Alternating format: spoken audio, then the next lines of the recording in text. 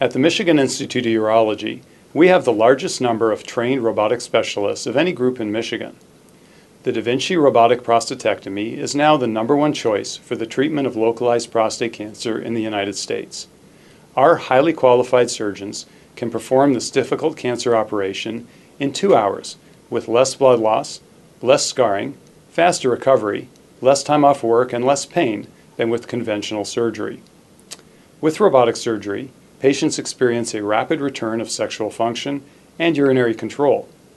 Studies have demonstrated that surgical management of prostate cancer has a higher and longer survival rate as compared to that with radiation.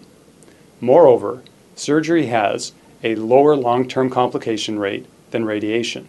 For these reasons and more, we suggest you contact the Michigan Institute of Urology so that we can arrange for a consultation and discuss if a robotic prostatectomy is right for you.